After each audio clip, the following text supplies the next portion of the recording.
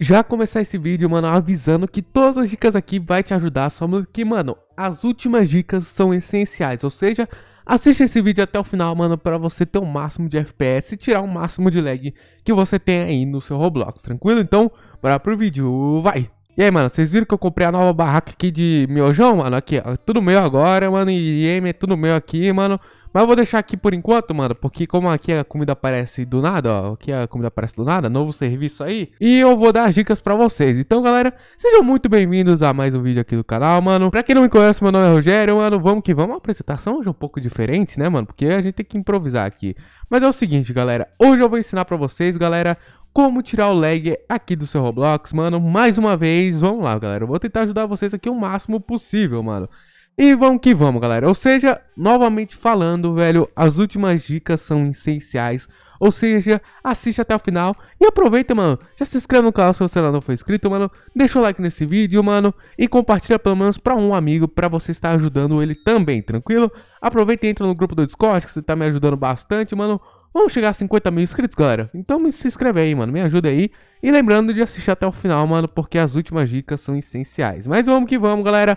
Vamos começar com o básico, galera. O básico, tipo assim, o básico que você tem que fazer, galera.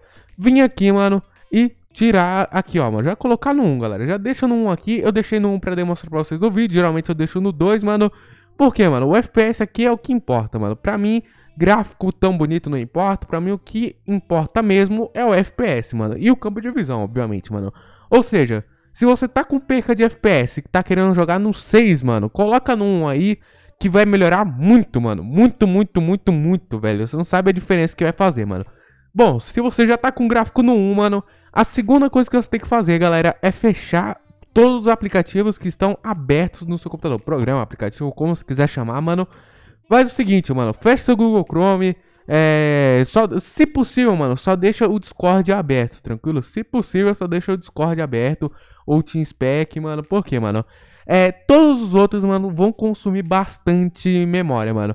Aplicativos que você pode deixar aberto em segundo plano é antivírus, Dropbox, é, é também você pode deixar ah, o próprio Discord aberto, mano. Você pode deixar o OneDrive aberto.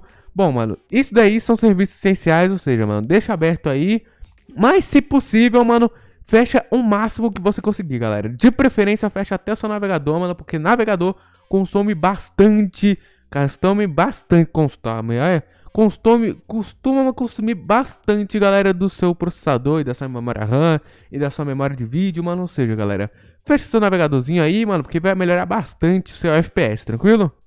A terceira dica, galera, é colocar numa resolução menor, galera. Como assim uma resolução menor, galera? Eu vou pegar um exemplo aqui, ó. Eu vou fazer o seguinte, ó. Eu vou dar um minimizar aqui, ó. A tela cheia que você estava vendo, ó, não ficou, viu que ficou distorcida a minha tela, galera? Porque é o seguinte, eu diminui a resolução, ou seja, ficou distorcido para vocês. Quando eu aumento essa resolução... Eita, abriu até o chat do time, é? Quando eu venho e aumento, mano, ó. Calma aí, só deixa eu fechar o chat. Quando eu venho aqui e aumento, não fica mais distorcido, porque a tela tá aumentada, mano. Pra você aumentar a resolução, galera, vai ter dois quadradinhos em cima, na parte de cima da sua tela. Clica nele que você vai jogar com uma resolução menor, mano. Isso vai te dar mais process... isso vai te dar mais FPS no Roblox, porque o jogo vai ter mais processamento e também vai ter mais é, memória de vídeo, não vai usar tanta, uh, não vai precisar de tanta renderização, porque a resolução do jogo é menor. Ou seja, mano, joga, num, joga numa resolução aí menor que vai ajudar, pode ajudar, tá ligado? Vai ajudar muito até. E bom, mano, vai implementando todas as dicas aí, galera, porque, mano, é útil, mano. Eu vou te ajudar bastante, mano. Eu te ajudo bastante com essas dicas, tranquilo? Então, bora pra próxima dica, vai!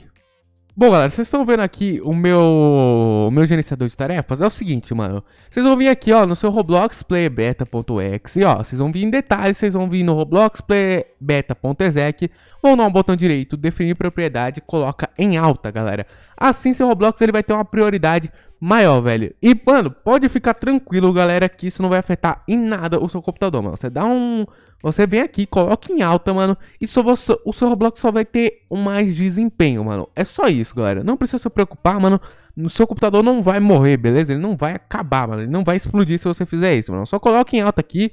Coloque em alta, não coloque em tempo real e nem acima do normal, mano. Só coloque em alta mesmo, abaixo do normal e baixa, só vai dar menos prioridade. Ou seja, mano, coloca aqui em alta que você já vai ter um FPS maior, tranquilo, mano? Faz isso, mano, que você vai estar tá tendo um FPS bom, velho. Então só faz isso que você vai ter mais FPS vai tirar o lag, é, obviamente. Chegamos na dica final, mano. Vamos fazer o seguinte, velho. Vamos lá, galera. Dica final, se você não deixou o like e não se inscreveu nesse canal, velho, por favor, mano, faz isso que você vai estar tá me ajudando bastante, mano. Uma troca de favores. Eu tô te ajudando e você me ajuda também, tranquilo? Bom, galera, dica final é basicamente o seguinte, galera. Vamos que vamos, velho. Basicamente, mano, é, você vai ter que fazer uma limpeza no seu computador. Como assim, Rogério? Vou ter que abrir meu computador e vou ter que limpar ele? Não, galera, você vai fazer o seguinte, mano. Você vai baixar programas que desfragmentam HD. É, vocês vão fazer limpeza. Se você tá muito tempo usando o seu computador, mano, às vezes é só arquivo temporário. Eu já ensinei a fazer isso, mano. E eu vou ensinar pra vocês aqui de novo como você pode fazer isso. Então, bora de novo pro nosso tutorialzinho diário. Bandeirinha do Windows mais R ou Windows mais R, você digita porcentagem temp barra porcentagem...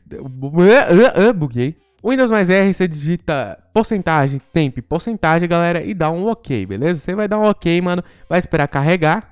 Galera, você vai chegar numa janela tipo assim do Explorer, mano, você vai ver bastante itens aqui mesmo, ó, vai ver muitos itens e tal, mano. Você só precisa dar um Ctrl A e deletar tudo, mano, deleta tudo, mano, deleta tudo, beleza? Você deletou, mano, ó, dá um delete aqui, deleta tudo, mano, você vai ajudar bastante. Se você quer uma dica pra deletar mais rápido, dá um Ctrl A aqui, galera, e dá um Shift Delete, beleza? Faz isso, mano, que você já vai estar tá limpando um pouco o seu computador, tranquilo? Vocês vão fazer a mesma coisa, mano. Vou apertar Windows mais R, só que deixa, dessa vez, mano, vocês só vão digitar temp, galera. E vocês vão vir aqui, dar um Ctrl A e dar um delete, galera. Entenderam, mano? É basicamente fácil, mano. Vocês vão dar um delete aqui, vocês vão limpar tudo, tranquilo, mano? Se você tá um tempinho sem fazer isso, galera, é importante você fazer isso, tranquilo? Que você vai limpar bastante seu computador. E bom, galera, basicamente isso, mano. Só que, mano, aviso importante, velho. Se alguém falar pra você desativar seu antivírus, mano, e você tem que baixar um programa pra... Eh, ignora isso, galera, porque, mano, nunca você vai precisar desativar o seu antivírus, mano. Se seu antivírus tá consumindo muita RAM e muita CPU, galera, você não tem que desativar ele, mano. Você tem que procurar investigar, mano, porque desativar seu antivírus, principalmente o Windows Defender ou o Firewall do Windows, galera, é, é, muito importante você não desativar, galera. Porque você fazendo isso, você quebra suas defesas, mano. E se você quebra sua defesa e depois alguém pede pra você vir baixar um programa, mano, é algo estranho. Ou seja, se seu antivírus está consumindo muita memória RAM, memória de vídeo, CPU, mano, que é o processador, velho, dá uma pausa, mano, e começa a investigar, mano. Se alguém pedir pra você desativar e baixar um programa, mano, não confia, velho. Não confia. É. Se você. Mano, isso me... Ah, mas eu vou baixar. Se você resolver baixar, mano, então por favor, velho. Não desativa o seu antivírus, mano. Verifica no vírus total, no hybrid análise, mano. Mano, cuidado, velho, cuidado. Porque desativar o antivírus nunca é necessário. Ah, mas eu quero um antivírus bom que não consuma muita muita CPU ou muita memória, é muita memória RAM, galera. Então, mano, se você não é um cara que baixa muitas coisas da internet, mano, pega pra você, mano, e usa o Windows Defender, mano. Usa o Windows Defender porque é um bom antivírus, mano. E, mano, se você não baixa muita coisa da internet, é basicamente já é o suficiente, mano. Se você não baixa muita coisa, o Windows Defender, o Windows Defender já é o suficiente, galera. Então, esquece esse negócio de ter que desativar o antivírus pra o seu seu computador melhorar, galera, não faz isso, mano. Então, galera, o vídeo vai ficando por aqui, mano. Muito obrigado por assistir até o final. Valeu, até mais e tchau, falou, foi. Eu!